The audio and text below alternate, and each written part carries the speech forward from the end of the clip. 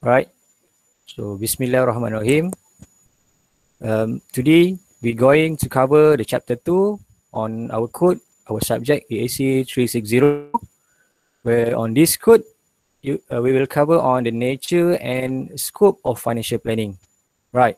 So previous class was covered on the first chapter whereby you will learn about the overview of financial planning, what is a financial planning, um, what is the law that go- uh, govern on that financial planning, example, uh, regulators, uh, the ethics and so on. So on this chapter, we learn about uh, the process, okay, and we learn about uh, some other information needed before we start on our financial planning, right? So look on the outcome for the chapter today, right? So th- there's a three outcome on this chapter, right? The first outcome, at the end of this chapter, the student should be able to explain the age, okay, the ages of financial health, okay. So there's a seven age if, if I'm not mistaken, right?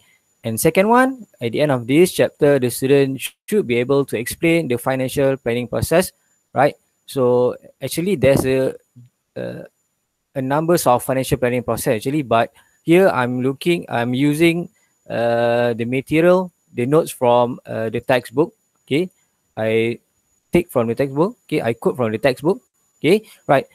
There's another example. Um, I've been shown you uh, on the notes that I post in the U Future. So you on you can look on the notes from your seniors that I post in the Future. So there's a uh, some different about financial planning process, but it's okay as long as you can look. The process is almost uh, similar to any other process, so we consider is uh, there's a true process, right? And the last outcome for today is at the end of this chapter, the student should be able to explain the lifetime financial plan. Actually, the lifetime financial plan here means that you, uh, I, I'm going to uh, explain to you a bit about the whole syllabus of AC 360 actually. Okay, so on the lifetime financial plan, it cover you on in terms of uh, uh, budgeting, in terms of uh, insurance, uh, risk management, in terms of uh, tax, uh, some information about the tax, in terms of retirement, in terms of estate planning, and last part in terms of how you going to do on, you comprise all the thing, you summarize all the thing, and you make it on uh, on the paper. May, means that you're going to uh, plug in all the information from the things that you have, the asset you have, and put in the paper means that you put as you look on your asset, you look on your liabilities, you look on what's your leverage, what's your um, uh, net worth that you have. Okay, so that one the last one. Okay, now we're going to look on the first outcome today. So the age or ages of financial health. Okay, as I mentioned to you, there's a seven one, two, three, four, five, six, seven. Okay, there's a seven age of financial health. Okay, it start with the age of birth and education. Okay, right. Simple meaning kita lahir. Okay, kita ada start dengan umur lahir. Okay, ataupun uh, apa ni tempoh lahir. So, okay, macam tu. Right. And tempoh belajar. Right. So that's why it, it's begin with the age of birth and education. Means that you're going to go to, I mean, you was went through all these things. Okay. Um, preschool, you go to kindergarten, you go to, you went through on the kindergarten uh, period, uh, you went through on the primary school, either uh, uh, rural or urban area, uh, you went through also on the secondary school, either you are in a boarding school or in, um, I mean, uh, regular school. Okay, as me, I'm going to all the regular school. Okay, provided by the government. Um, I'm start with the Kemas and then I go through for uh Ah, sir. my school all in KL. So I'm Sir. KL KL boy. Okay, right. Yeah. Ah, sir, ah, ada ada Ya, ya, ada, dengar. ah, ada orang nak join ni meeting. Ada orang request. Saya saya tak uh, join lah. Saya tak Oh, saya allow je semua oh kan. sebab oh, Ke saya kena accept. saya tak sure sebab ada orang nak Okay, masuk you join je. Saya dah allow untuk Oh. masuk Okay, okay. Sekejap, Tak boleh saya ke? tanya dia.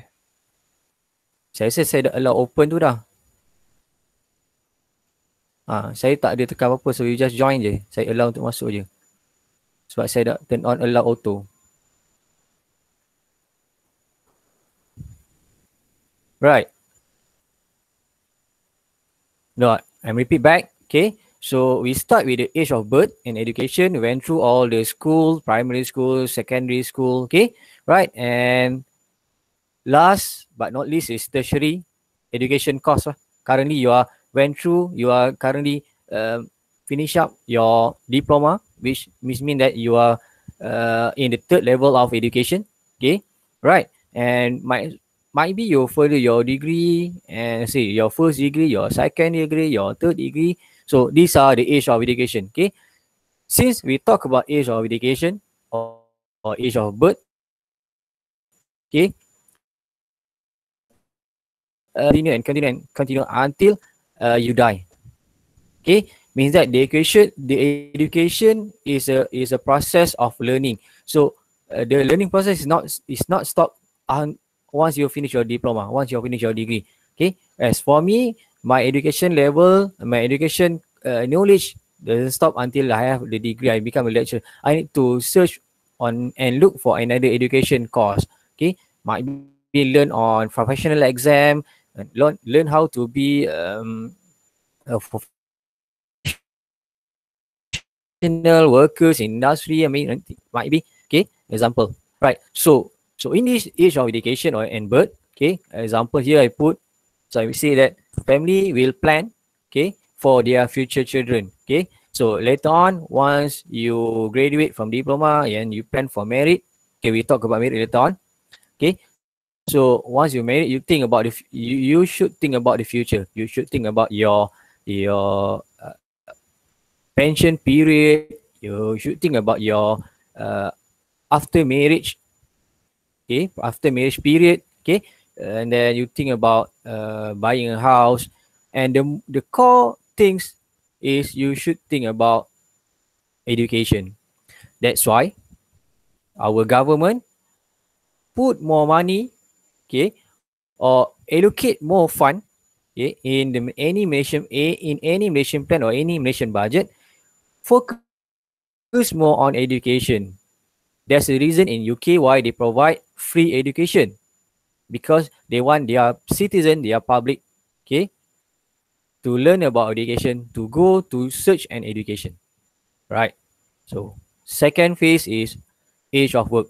So once you have the knowledge, okay, once you have uh, the input from the universities, either in universities or you get input from from any course. I mean, you didn't go to university, you go to the um, college, okay, vocational college, a- any school. Mean, if uh, you didn't go through to the university school, you go to the academy, you go to aviation academy, and as well, anything that relate to the to the education course.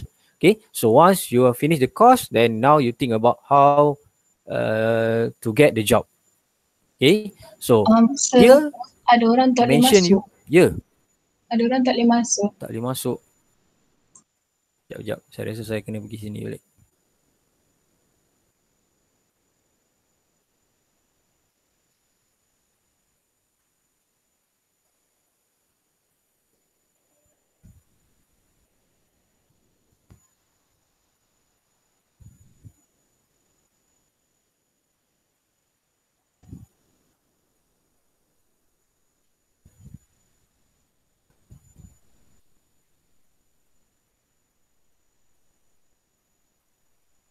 Right?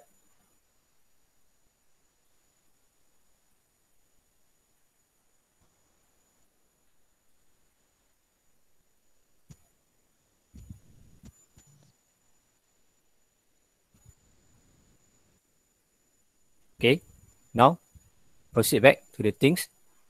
Right? So once uh, we talk about age of work, so once you, you get a job, you think about uh, example for me, uh, once I finish my, my degree, okay, sorry, I once I finish my diploma, okay, I need to search on the job actually, to look for the job, especially to pay back my loan, okay, right, during my diploma, I'm uh, get the loan or get the the fund from uh, PTPTN. Okay, so once you finish your diploma, later on you should think on how to pay back the loan. Okay, right.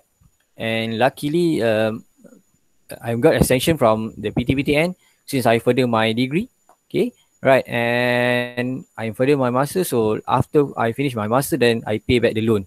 So it's important for us to to search and to look for uh, the best loan actually, or if you can being able to get um, the fund, I mean the scholarship actually, is is more is is is much better actually.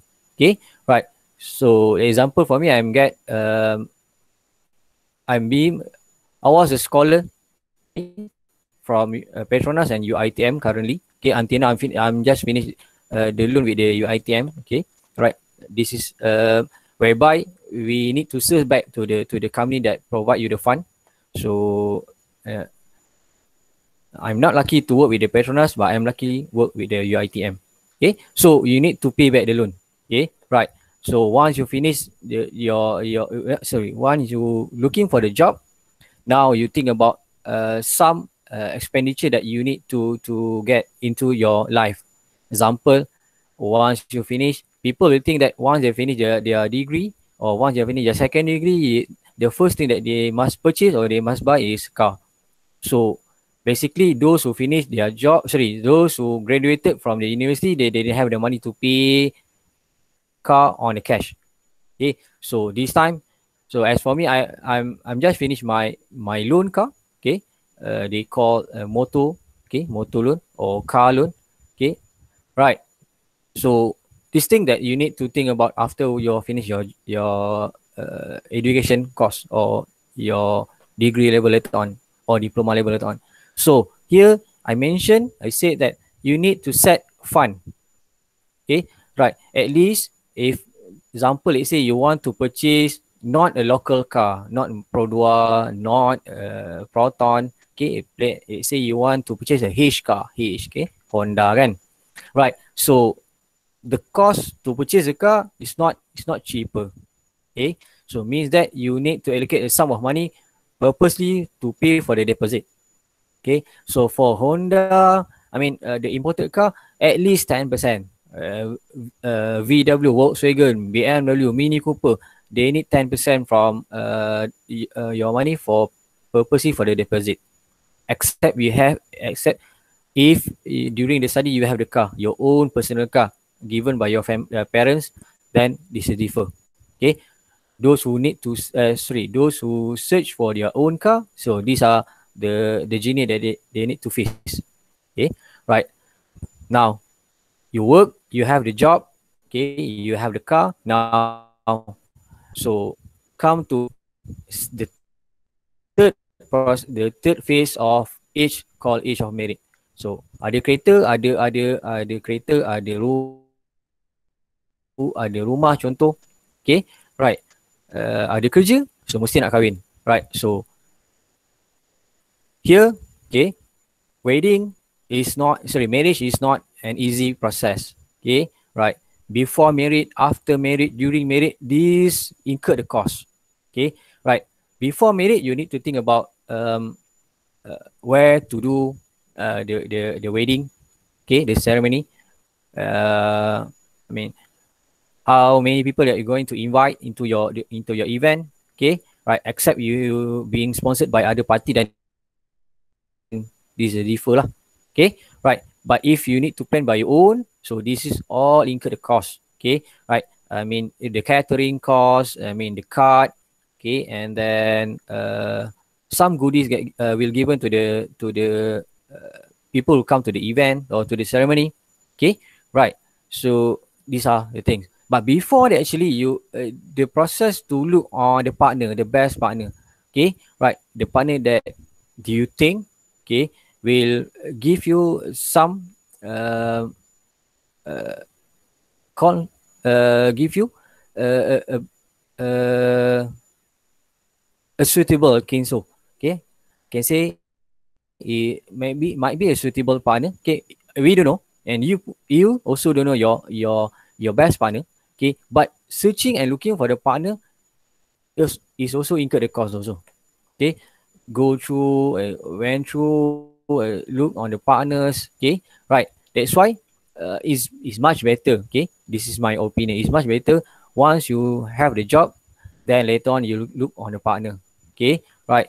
Kawan-kawan kat universiti ni boleh kawan lah tapi bila kerja tu saya rasa di, that time memang you akan betul-betul dapat partner yang you think that uh, can provide you some breeding okay right uh, some uh, uh, opinion provide you e- an ear to listen to their problem okay? So itu yang partner yang betul lah okay?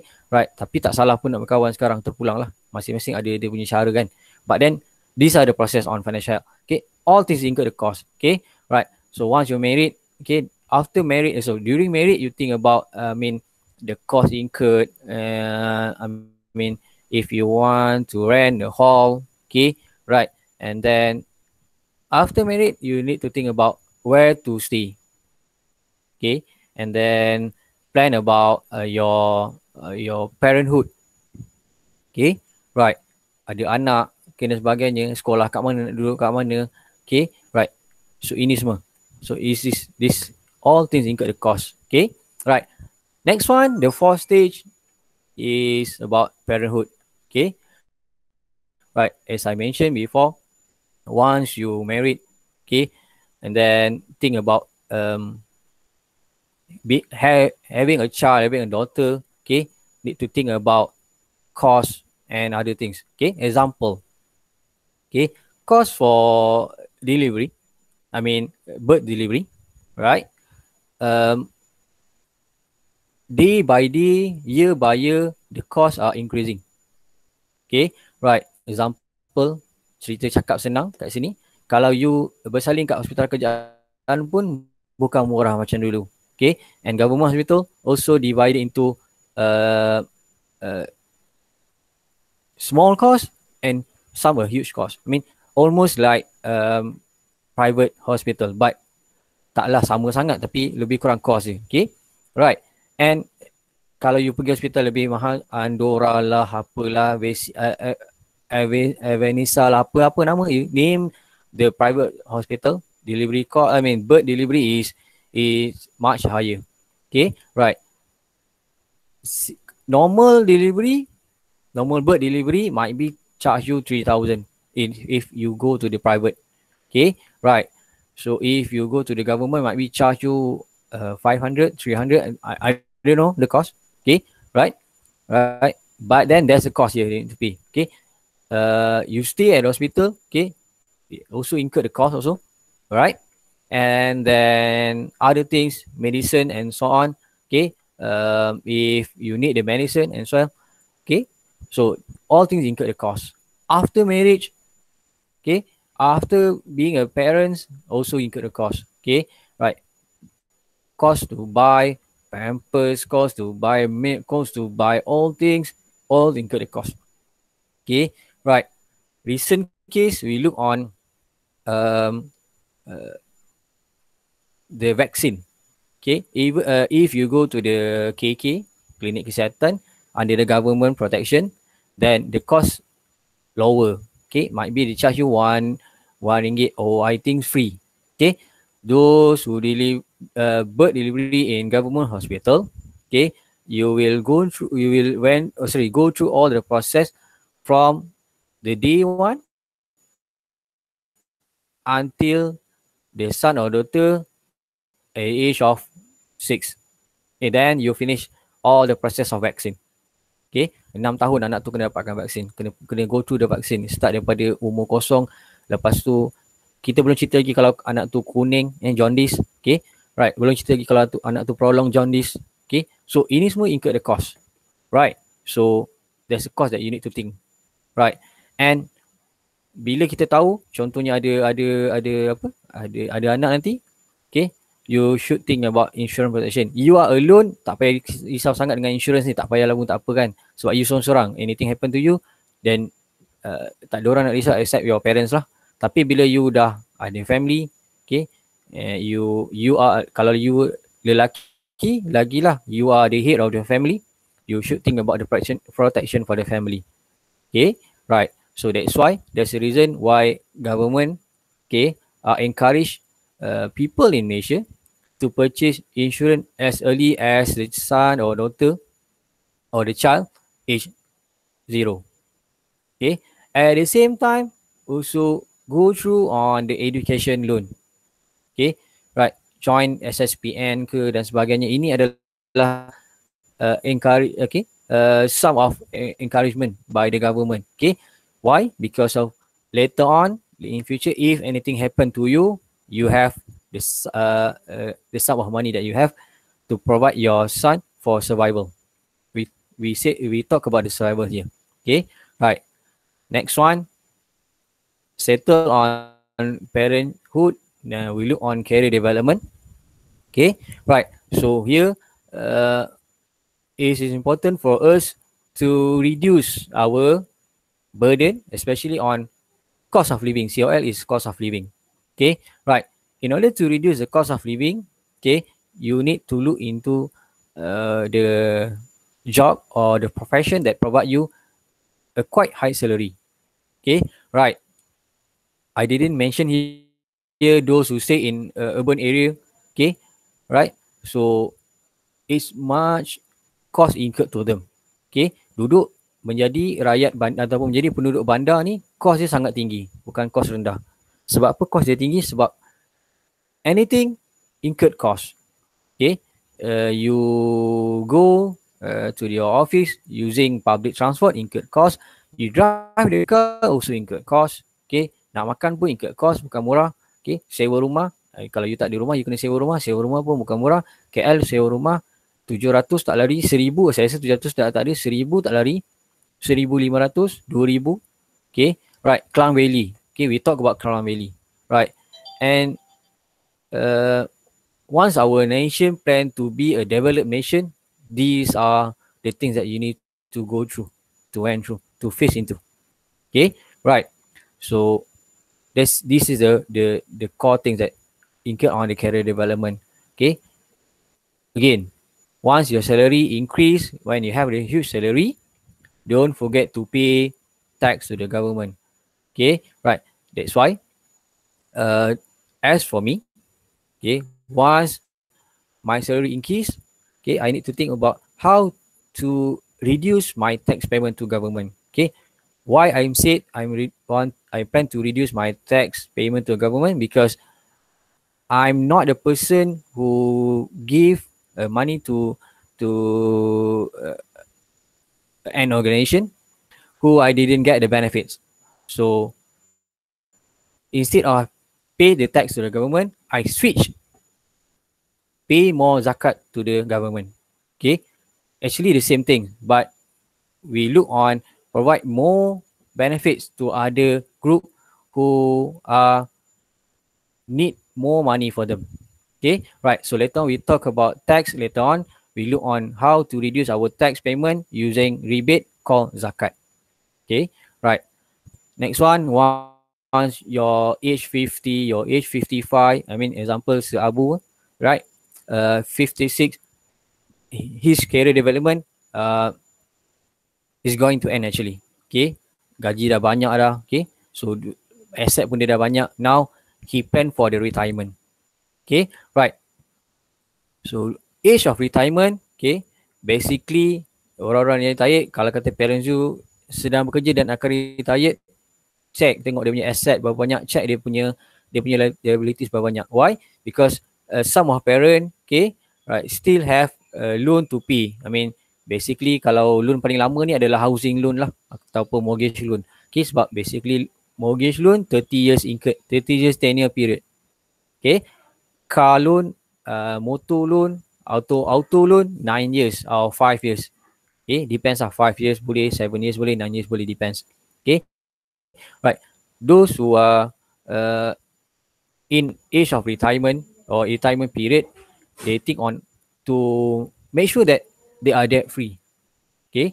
Why? Because of they want to have a comfortable standard of living. Hidup yang selesa kan, tak fikir, tak serabut pasal hutang bila kita dah tua kita tak nak fikir pasal hutang kita nak fikir kita nak relax kita nak kita nak vacation kita nak pergi jalan-jalan sana sini kita nak kita nak rest Okay sebenarnya kita tak nak tahu pun apa benda yang hutang-hutang ni. So that's why those you tengok orang-orang yang tanya ni dia relax boleh minum kopi, duduk kedai lama-lama kan. Dia tak, tak ada masalah sebab dia tak ada hutang kan. Ataupun dia ada masalah tapi dia buat tak tahu jangan masalah. Itulah two different cases eh. Okay. Right. And kalau you tengok umur you sekarang pun, okay, parents you pun think about your, kata kalau you ada brothers, sisters, think on preparation kalau you ada eh. Right. So think about uh, preparation for their son, their daughters and think about other other expenses. Okay. Maybe because of you need uh, uh, you need uh, education more. Okay. I mean you you need to go to to for tertiary education or you need to purchase a car, you need to purchase some other things okay which need for the life so cost-cost ni that's why parents tu kena tahu okay kena ada a good financial help sebenarnya. Right and the last one adalah age of old. Okay I mention here age of old. Okay bila kita tua kita think on um, health actually. Okay so more money that you have will if okay we look on a uh, I think AAC 302 mention you in the chapter 3 mention about um, meeting consumer need age 60 health okay age 60 healthy and age 60 unhealthy if you're good in health okay right your medical bills might be lower okay or your hospitalization cost might be lower if you're not in a good health okay you incurred more on your medical bill your hospitalization, your medicine, your other things. Okay, right. And I didn't mention here about age of old, include more on a cost of um, uh, after death. Okay, cost selepas mati. Okay, ni pun ada kena masuk sekali dalam age of old ni. Okay, sebab bila kita mati kita fikir, okay, contoh hairat. Okay, contoh kos ke bumi, kos kubur, kos sebab ini semua kos-kos yang kita kena fikir yang kita kena bayar. Kita kena tanggung. Okay. So these are talk about age of financial help. Okay. So I'm finished with the first uh, outcome. Now, we look on the second outcome, we talk about the financial planning process. But before that, we look on what is important on financial planning and what are the advantage of financial planning. Okay. Right. So there's a five thing uh, keep on why the financial planning is so important. First one is lifestyle lifestyle plan. Okay, so if you have a good financial planning, means that you being able to allocate a sum of money for lifestyle plan. Okay, you tahu macam mana allocate your fund, you tahu macam mana allocate your investment, you know how to allocate your money for education, you know how to allocate money for parents if if you uh, if the parents with you I mean the parents stay with you. Okay. Uh, and you think about, I mean, you know how uh, uh, education money for vacation especially. Okay. Kita nak lifestyle kita, lifestyle yang yang sihat. Okay. Tak nak yang apa, stress and so on. Kita tak nak benda tu.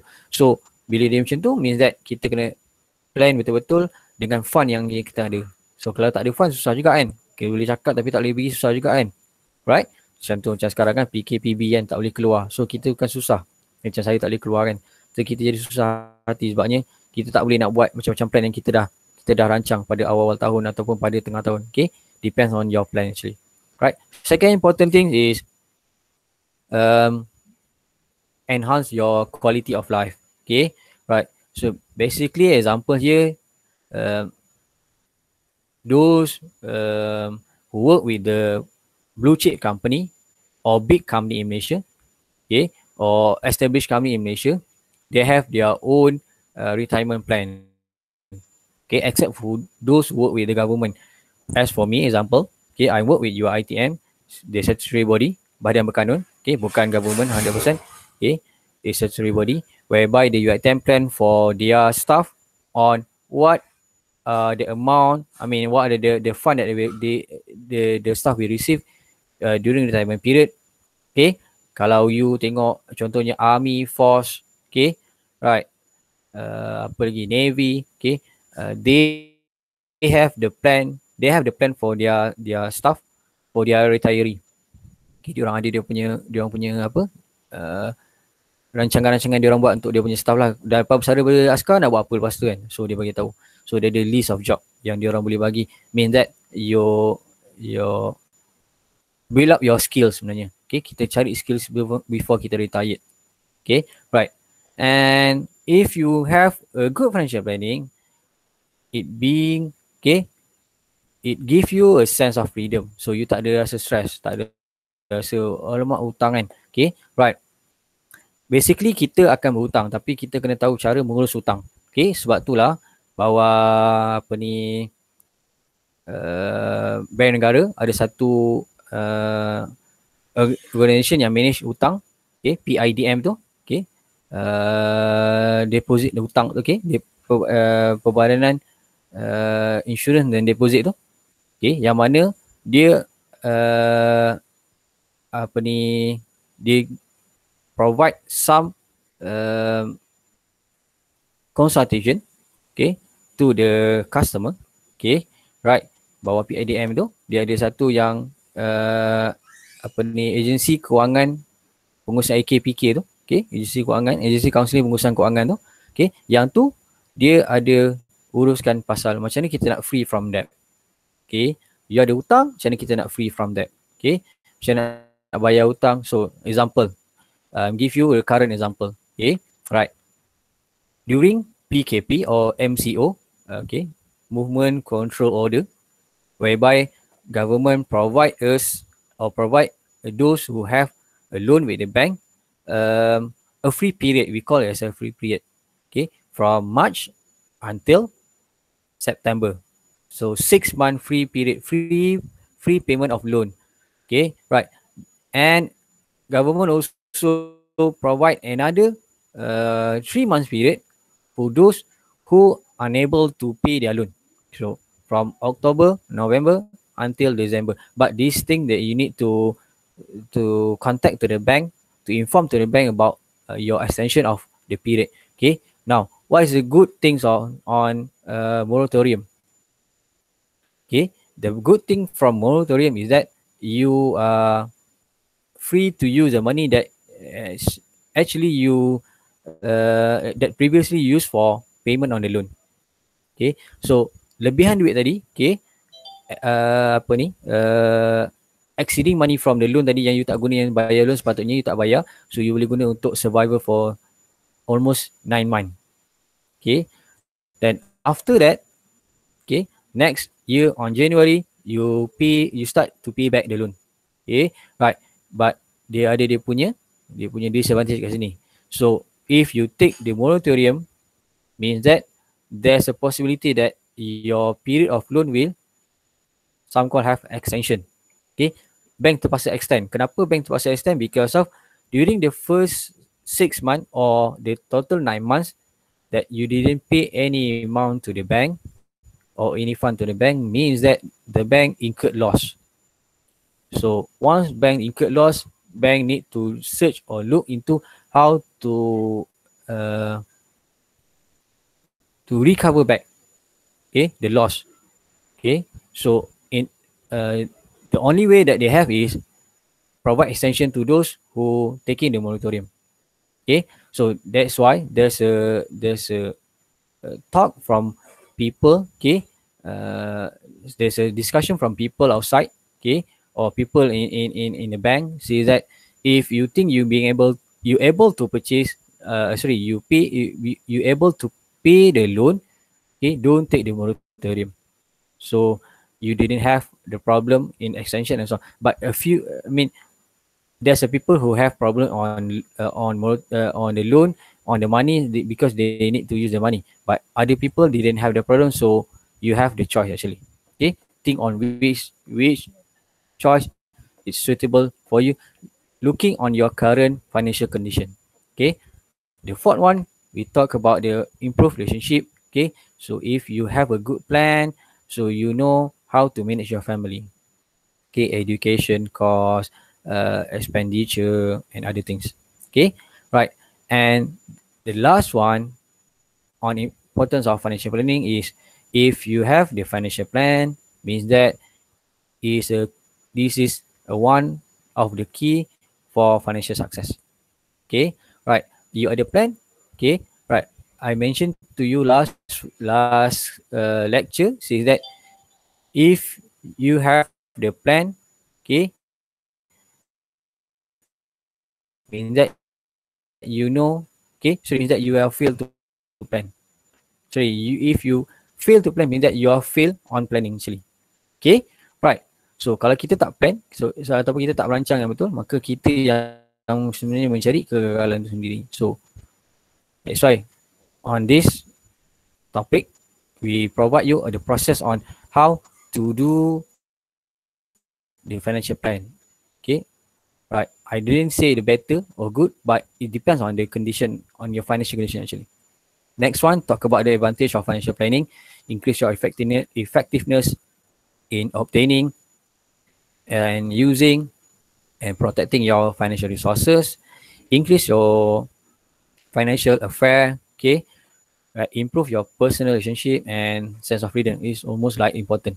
Okay, now look on financial planning process. Okay, there's a six step in financial planning process. Okay, right.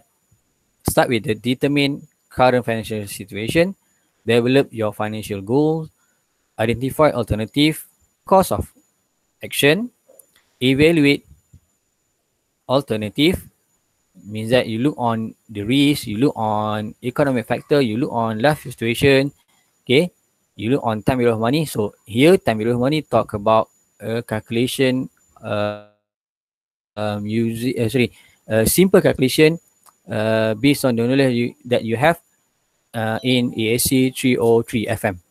Okay, a simple one. Okay, right.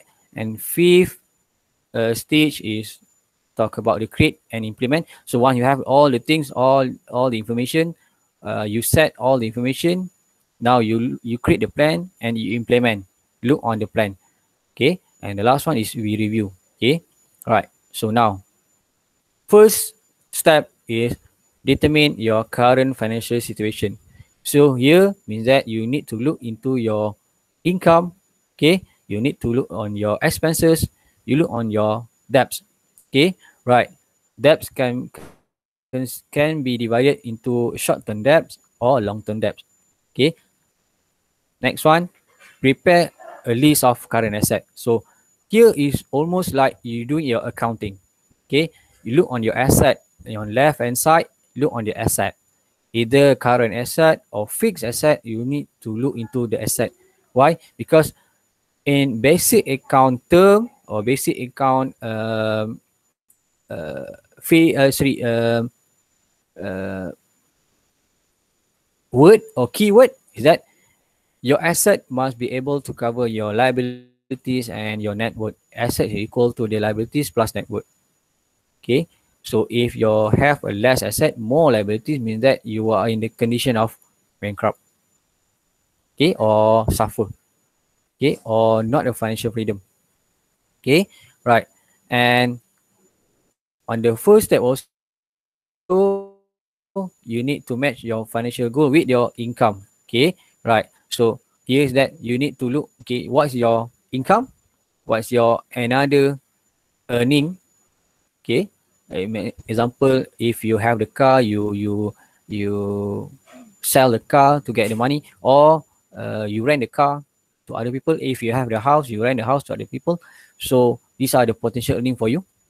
Okay right? So from the, your income so you here you need to match with your financial goal. So let's say you uh, your plan for short term plan okay within the two years from now or within one years from now you need uh, at least you have this is amount of money.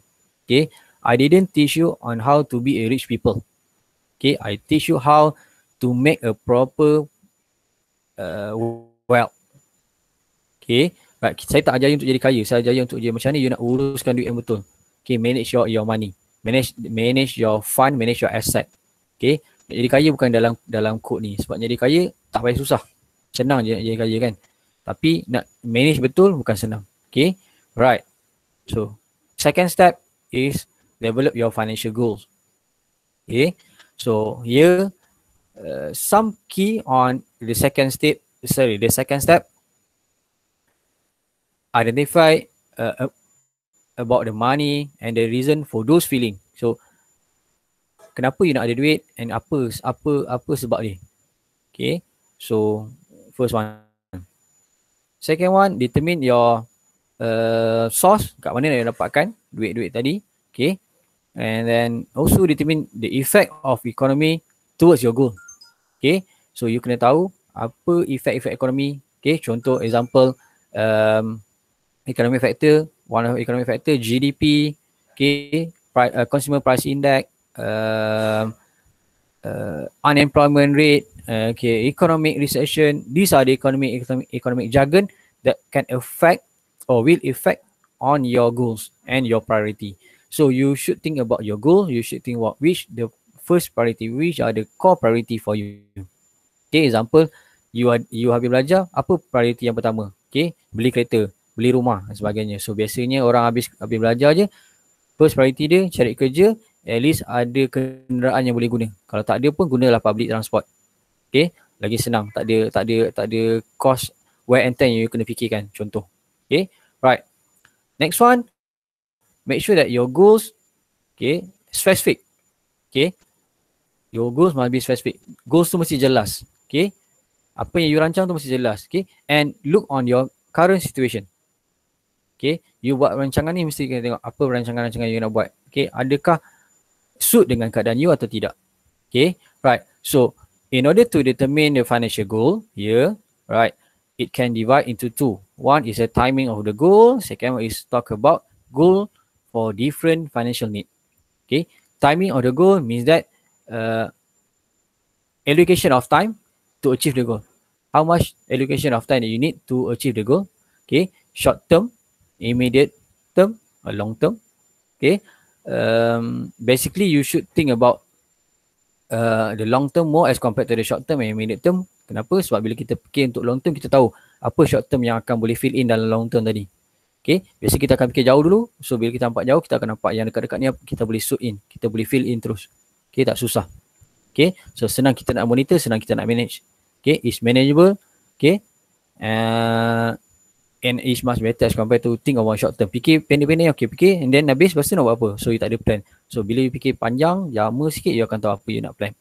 Right.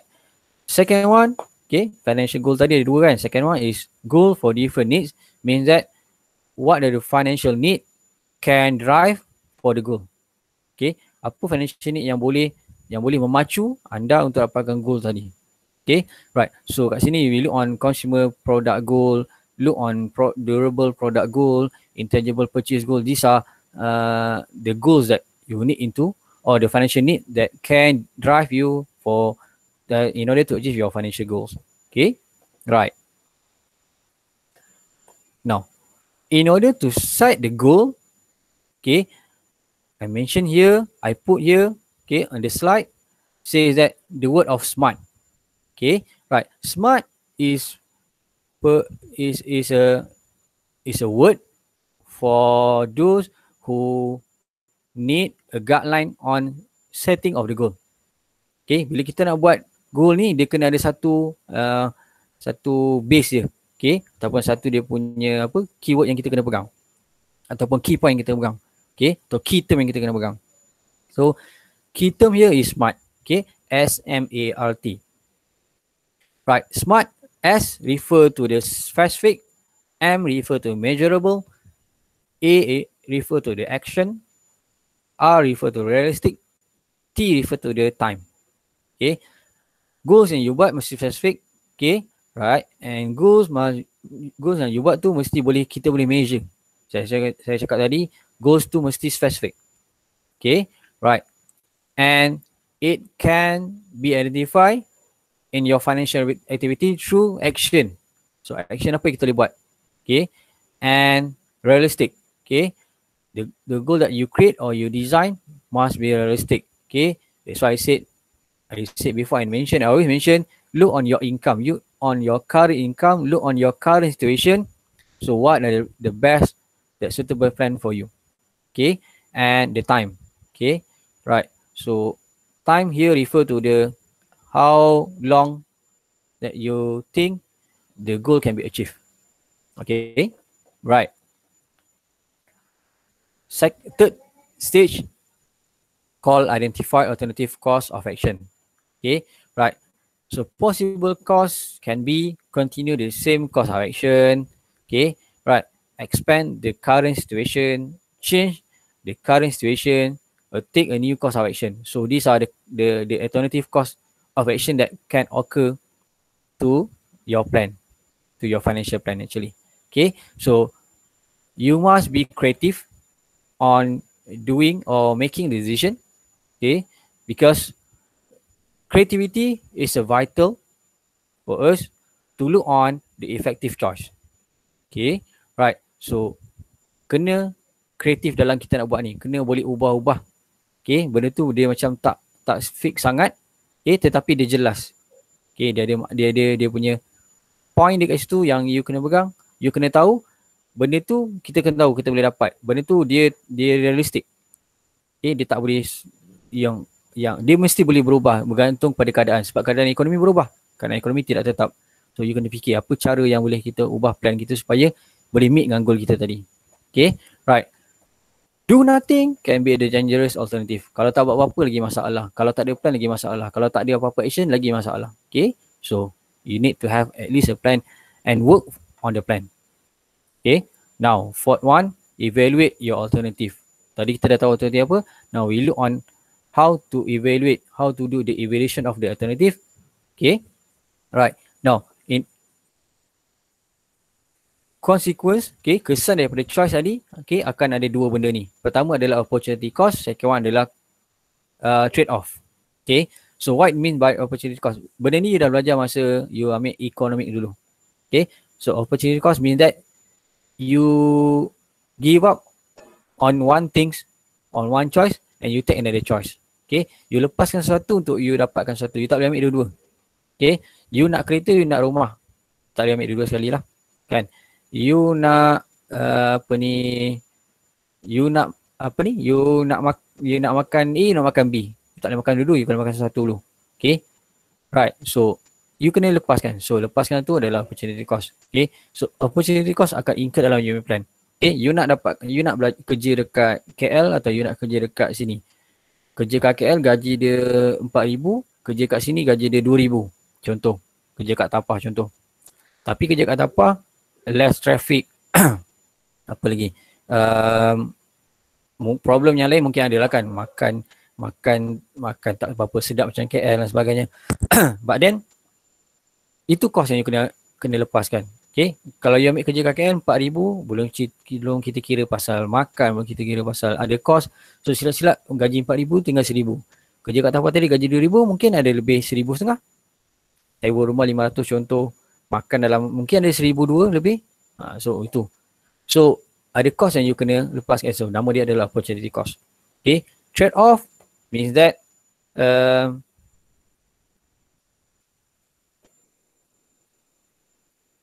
decision. Okay.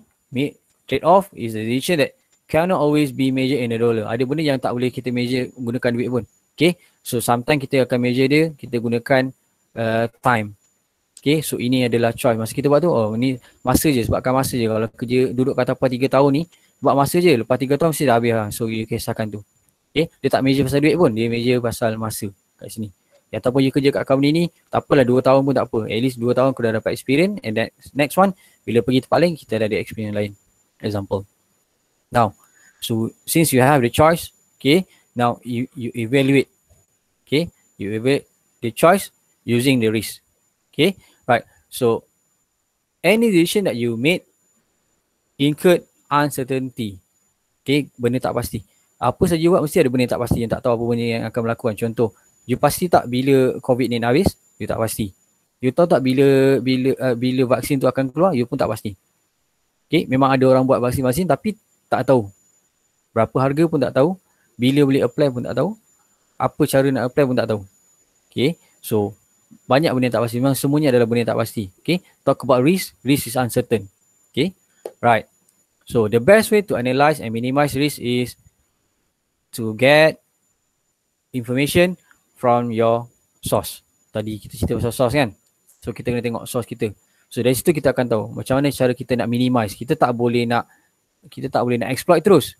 ataupun kita tak boleh kita boleh retain tapi kita rasa bila kita retain kita tak buat tak buat sesuatu kita hanya retain je terima je okay tak apa betul relax tak boleh so kita kena plan so yang penting kita kena minimize eh and look on another another way on solving the problem okay now tadi kita cerita pasal opportunity cost no now saya buat kat sini so I put here opportunity cost versus financial acquisition okay so opportunity cost can be divided to two first one is personal opportunity cost that relate to your time, relate to your effort, relate to your help. Second one, financial opportunity cost relate to your relate to the interest. These things relate to the financial calculation, sorry, financial uh, financial calculation. Okay, right. Um, your principal, your interest, uh, how liquidate the asset, okay, how safety the investment and so on. Okay, now financial acquisition relate to your car, automobile, your home, your education cost, your investment, your coverage of insurance, okay, your fund for retirement. So these are the things. So that's why opportunity cost and acquisition must balance. Okay. Kalau you tak balance, dia akan ada something wrong somewhere nanti. Okay. Next one. Talk about financial opportunity cost. So here relate to the time value of money. Okay, so saya cakap tadi, relate dengan your punya financial maths yang you dah belajar semester lepas. Okay, right. But one, but on this code, okay, a simple calculation only. Don't worry, tak susah-susah pun. Okay, but knowledge from that uh, code can be applied to this code. Okay, from the FM you can apply to this code. Okay, basically look on time value of money. We talk about our uh, investment. Okay, right. So talk about future value. Future value means that accumulated value. Okay. So accumulated value of your single amount and accumulated value of uh, series of deposit annuity. Okay. So series of annuity. Okay. Present value on single amount and present value of annuity. Okay. Right. Simple example here.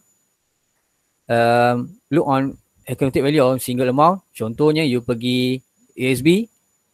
Okay. And then ataupun you pergi bank Okay, ataupun you pergi tabung haji. You letak je duit dalam tu. Okay, letak duit sekali, letak RM10,000, tu dah you buat tak tahu. So, you pump in money, a single amount of money. And then you buat tak tahu. And then after a few years, you look on the account, you letak RM10,000 tadi, tiba-tiba dalam account je ada dah RM13,000. So, duit tu tadi dah beranak. Saya nak cakap bahasa mudah kan? Ataupun dah accumulate. Okay, right. So, itu. Atau, uh, you uh, put in money on your retirement fund. Okay, contohnya saya buat invest, saya pump in, uh, saya sorry, saya allocate my own uh, money every uh, sorry uh, uh, every sorry every time during uh, salary payment by the UITM, saya akan ambil some allocation of money and pump in dalam EPF account. Okay, EPF is for retirement plan. Okay, so so every time saya letak duit, so duit tu dia akan generate. Okay, so kalau dulu okay dulu sebelum ni kita government eh sorry UiTM akan buat so every time you sampai uh, masanya gaji je dapat je dia akan pot, dia akan potong you punya gaji tu untuk masuk dalam EPF so every month dia akan buat sampailah you tak nak lagi join dengan EPF so itu kita consider as a annuity lah. So series of payment kan? Dia ada series of payment tu nama dia adalah annuity. Sama enggak present value kan? Kita kira berapa banyak kita kena ada untuk nanti. Contohnya present value on single amount ni let's say lah you dah kerja 30 tahun so you plan berapa yang you kena ada bila umur you 60 nanti contoh. So eh, ataupun you nak tahu berapa yang you nak ada amount yang betul-betul kena pakai untuk uh, de- uh, umur you 60 nanti so present value. So kira-kira okay, kena ada 100, 200 ribu. Masa umur 60 kena ada 200 ribu. So itu. Okay. Ataupun uh, present value of serious of deposit ataupun annuity ni let's, uh, let's say uh, saya kerja dengan government kan saya kerja dengan UiTM So once I'm retired at age 60, uh, uh, the government will plan for me on how to pay a series of amount, okay, a series of amount to me during retirement period. Okay, government akan bayar. Okay, tiap bulan you akan dapat 2,000 contoh. 2,000, 2,000, 2,000 lah. Sampailah you mati. So bila you mati, duit, duit, duit pension tu akan habis. Ataupun mungkin dia akan dia akan bayar kepada designated beneficiary. Depends lah. Okay kalau duit dia bayar tu jumlah dia dah habis ataupun jumlah dia dah cukup dengan salary yang sorry servis yang you dah bagi so dia tak ada lebihan bayaran Kalau dia you baru 2 tahun dibayar dan you mati then kat situ dia akan ada uh, payment back to the designated beneficiary. Okay, right. So this one the fourth step. Fifth step we talk about okay create and implement. So you know the you know the cost, you know the action, you know the opportunity cost, you know the financial opportunity cost, you know the acquisition and so on. All things that you in the plan. Now you create the plan. Okay, you dah tahu dah apa input input dah ada. Okay, now we we develop. Okay, you develop the action plan. Okay, to identify the method or the solution to achieve the financial goal. Okay, right. Um, possible plan. Uh, can do through increasing the saving, reducing the spending or making provision for the tax. Okay, yang ni kena ada lah. Bila kita increasekan saving kita, kita kurangkan belanja kita, so mudah kata kita boleh monitor semua duit kita. Oh, untuk monitor kita punya income tadi. Right. So, to implement the action, okay, you need assistance from others, okay. That's why ada orang yang dia buat plan dia, dia tak dia tak pasti, so dia jumpa dengan those financial plan, those so certified financial planner, or you uh, go to the bank and ask for the uh, ask for them to look on your whether your plan is is a proper plan or not, or manageable or not, or can be achieved or not. Okay, or else you can look into you can do by your own through using some information from internet source. You buat sini tengok, you buat okay, betul tak betul? Okay, check. Oh ni ni cara kita belajar. Okay, right. Even it's not a proper way, but at least you have the method. Okay, right. Contoh saya, saya saya plan saya punya uh, apa ni financial plan saya, saya buat saya buat sendiri. Saya tak refer pun mana-mana. Tapi saya cari kat internet apa dia buat, cara dia buat atau saya dengar daripada radio dan sebagainya, so saya guna. I use the all information I receive, then I I put in in my plan. Okay, so I, saya allocate, okay, ada investment. Contoh saya buat investment dengan suku, okay, government uh, last, I think so last August introduce suku to the public. So you boleh beli suku RM500 je contoh kan. So I I buy I buy suku. I go to the bank, I buy um, apa ni? Some as uh, sorry uh, unit trust from bank. Okay and then I go to uh, stock market look on which is stock market that being able to purchase. Okay taklah banyak-banyak janji at least kita tahu. So what I'm doing here is that I'm diversify my portfolio. So means that saya tahu kalau saya tak ada duit saya ada source yang lain saya boleh dapat. Okay ataupun kalau saya tak ada duit saya ada fund yang saya ada simpan. Contoh dalam tabung haji dalam bank dalam ASB saya tak ada okay so saya buat macam tu so you do the plan and you look and you look on the, uh, whether the plan is work or not So itu yang kena betul dia tengok. Okay. And the last step on financial planning process is review and revise your plan. Tengok balik plan you buat tadi whether the plan is achieve your goals or not. Especially your financial goals. Kalau tak achieve then you need to restructure, re-evaluate. Okay. So ini yang you kena buat. So the more frequent review okay, re- required for personal changing social and economic factor. Sebab apa? Plan kita ni mesti mesti sentiasa berubah. Contoh, you pun tak tahu yang 2020 ekonomi akan jadi macam ni. Okay, dan kita pun tak tahu apa akan jadi pada 2021. So, siapa yang dah ada plan, so dia akan revise balik plan dia. So, macam mana nak buat? Contoh kalau you kerja, okay, tiba-tiba tak kerja, tiba-tiba kena terminate, kena retrench by the company. Contohnya, I was mentioned to you last class, last lecture, those who retrench by the company, so what the plan for them? Okay, totally person uh, dia dia personal life is totally changing. Berubah dengan serta-mertanya. Tak tahu apa nak buat kan. Contoh kalau you being terminated by the company you mesti confused. Mesti rasa macam apa salah saya sampai you kena terminate. So you, that's why kalau orang yang cepat bertindak dia fikir okay tak apalah eh, dapat duit kita fikir cara lain so that's why kalau you perasan kalau you tengok especially dalam dalam social media Uh, previously he was a pilot. Currently he also a pilot but pilot for motorcycle. Okay, jadi buat kerja Grab, buat kerja Food Panda. Dia buat at least dapat duit. Daripada tak dapat duit langsung, at least sekarang ada duit juga. So at least life dia, dia ada plan yang buat okay kena ubah, tak boleh tunggu ni. Tidak dia susah. Okay, uh, belanja dah banyak, hutang banyak, expenditure banyak dan sebagainya dia kena fikirkan. So this is related to the economic factor, perubahan kan. So kita pun tak tahu. Okay, right.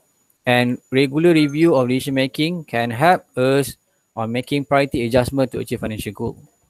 Okay, right. Now, okay, so this is the last uh, outcome for this chapter is to understand on lifetime financial plan. Okay, right. So under lifetime financial plan, I mentioned to you uh, at early class is that on this chapter, I'm going to explain roughly about the whole story about the things that you're going to learn, okay, in the in the overall course, okay, of personal financial planning. Okay, later on you learn about the budget budget planning.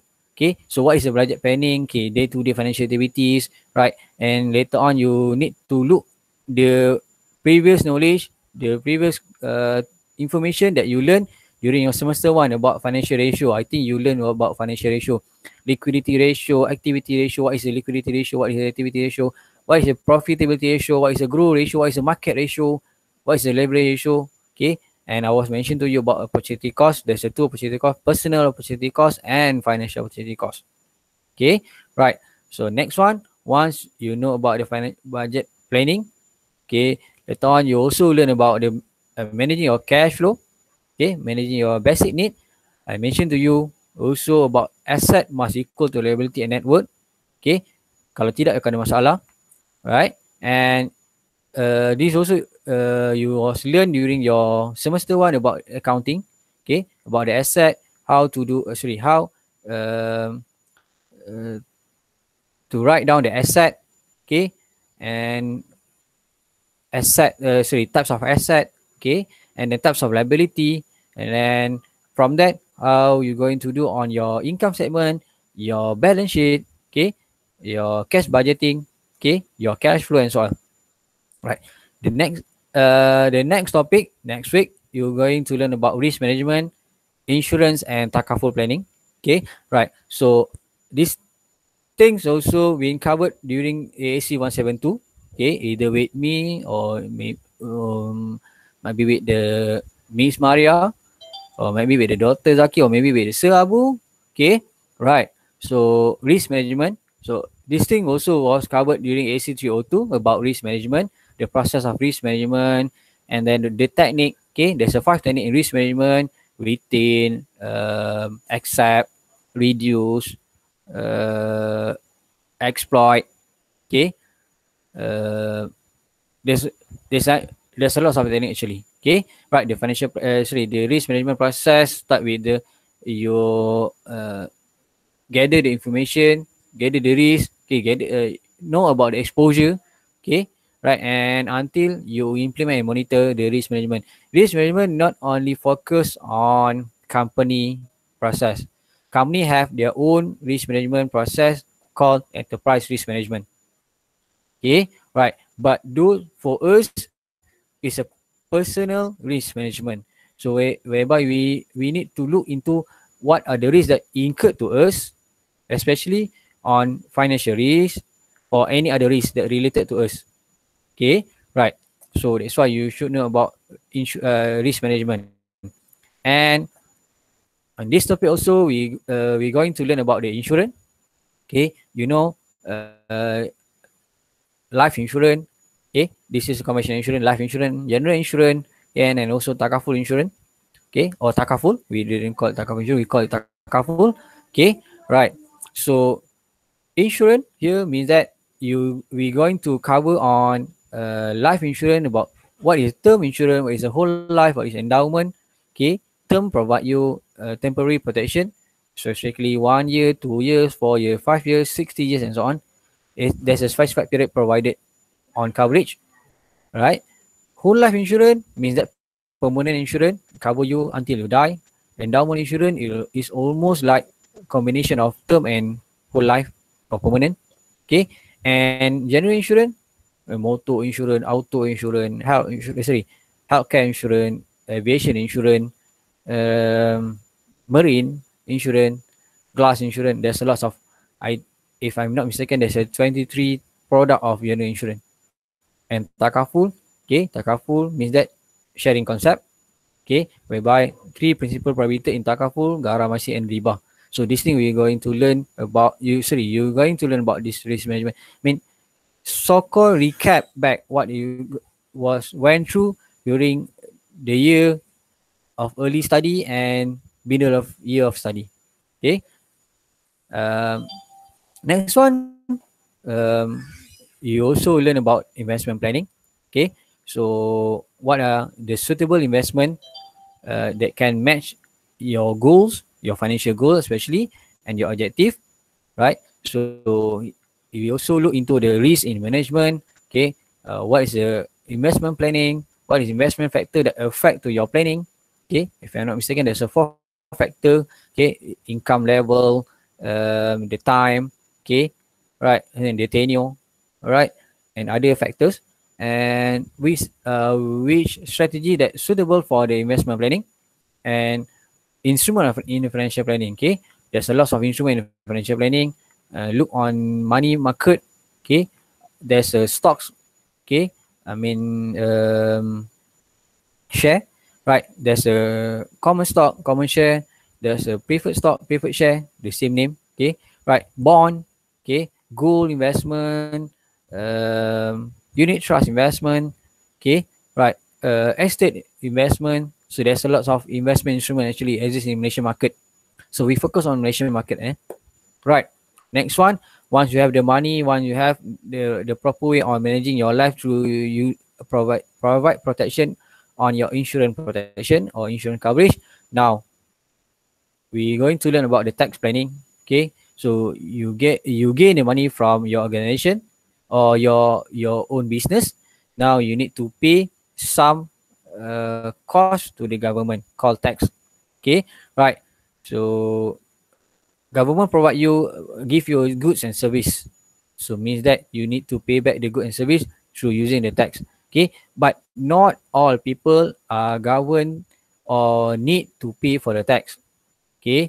Because under inland revenue board or in uh, inland revenue okay? Inland revenue council or inland revenue board IRB okay?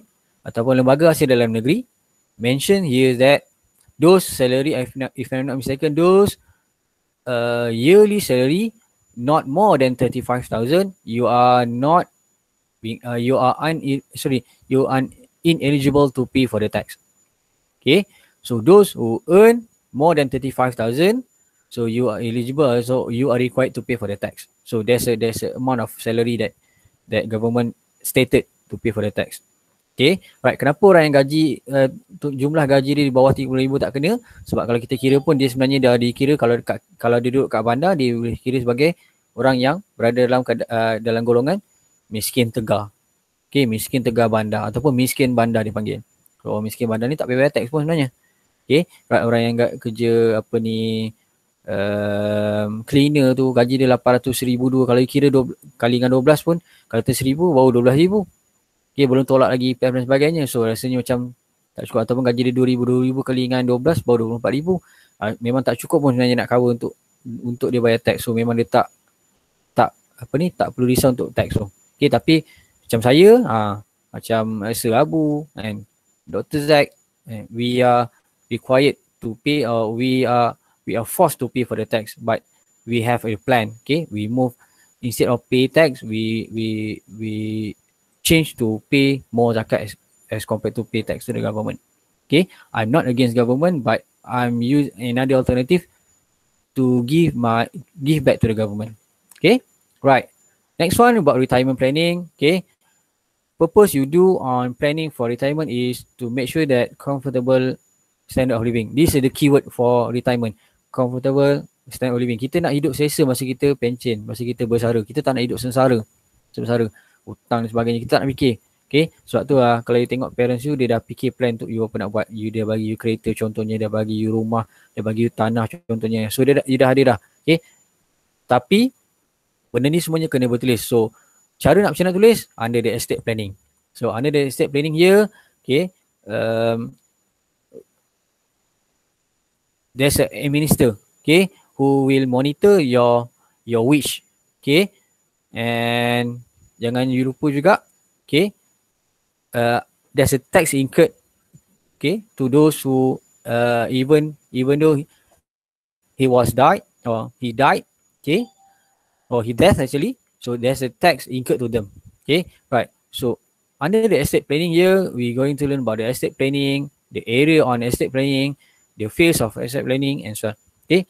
Dalam estate planning ni subjek uh, topik, yang sangat menarik sebab you, you akan belajar pasal will okay pasal wasiat. You akan belajar pasal apa ni uh, probate estate. Okay dan sebagainya macam-macam. So bila kita plan untuk retirement planning ni ada akan include estate planning kat sini. Okay sebab, sebab tu lah bila contohnya saya ambil contoh case abam okay, awal abam okay uh, dia tak sempat nak buat wasiat. So apa yang berlaku kat dia adalah bila uh, dia ada banyak aset uh, dia akan jadi satu satu isu yang besar kepada keluarga. Terutamanya kepada dia punya uh, isteri dan anak dia tu. Okay, kita memang kesian sebab sepatutnya um, benda ni tak tak perlu pun dibesar-besarkan. Sepatutnya dalam keluarga-keluarga saja. Tapi jadi besar dia menjadi satu isu. So bila jadi isu maka orang melihat benda ni adalah satu masalah. So sepatutnya dia bukan masalah yang besar. Okay, sebab tu before kita nak mati, okay, you tak tahu bila you nak mati sebab tu lah you kena prepare. Sebab tu in Islam, one of the method that we we uh, uh, sorry Islam apply is you make wasiat. Okay. Sebab kalau you tak buat wasiat, dia akan ada masalah. Contohnya pembagian harta tu menggunakan sistem faraid dalam Islam. Okay. So another alternative from wasiat or from will, kita gunakan nama dia hibah. Hibah tu adalah uh, apa ni hadiah kepada penama-penama yang kita rasa. Tak kisah siapa pun nama. Contoh saya ada saya ada kereta, saya nak hibahkan hadiah ni dekat orang A, kat orang B, kat orang C contohnya. So bila saya mati nanti orang ni akan dapat contohnya. Ataupun saya ada duit dalam bank so orang ni okay, saya hibahkan duit ni, akaun duit dalam akaun saya ni untuk parent saya contoh. So kita hibah. Itu adalah metod yang Islam apply. So bagus sebenarnya. Dah tahu dah semua dah ada dah. Okay, right. Cuma kita nak tahu secara jelasnya nanti you akan belajar lah. Start from retirement planning, asset planning will cover by Dr. Zack. Okay, right. So I think that's all for um, today lecture. So I'll cover you about the second second chapter. Okay, right. And this in the second chapter, uh, namely as a nature uh, and product, uh, sorry, financial planning. Right. So I explained to you about uh, the age of financial help, okay, the financial planning process, the six stage of financial planning process. So you should know about the financial planning process. Okay, right. And then um, I also mentioned about one of the financial planning process about talk about uh, opportunity cost, talk about time value of money. Okay. And the last part, the last outcome in this chapter, talk about the financial plan. Okay. So some overview about the financial plan uh, regards to your budgeting, regards to your tax, regards to your insurance, regards to your investment, uh, retirement and estate. Right. So I think I'm done for today. Um, I'm looking for the question that if you have the question and you can uh, raise out the question.